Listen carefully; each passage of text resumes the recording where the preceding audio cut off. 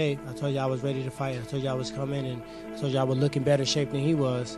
And um, you know, I did that tonight. So I went back and I looked at it. and I'm like, why the fuck did I drop my hand? I had both hands up. I was ready. I knew it was coming. I was ready to block the overhand, and um, I don't know if he delayed it. Even if he didn't delay, I don't know why I dropped my hand. And um, in this sport, you can only take one mistake. One mistake. You know, literally one mistake. I blocked so many shots and um, the goal this time around was to extend my punches, to work the body a little bit, to press him a little bit more, uh, to be a little bit more active. I didn't want to let him get three rounds ahead and start, you know, I mean, peppering the steak and then me not returning back. Cause I thought I did a great job of returning back. And uh, I'm not done. Please do not look at me with sorrow eyes. Please do not look at me like shaking your head.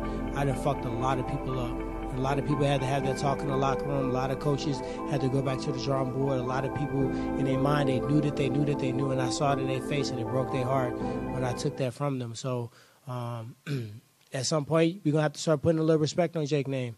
You know, um, I never really disrespect him as a as a power puncher. That's something we always knew. That's why my defense was so tight.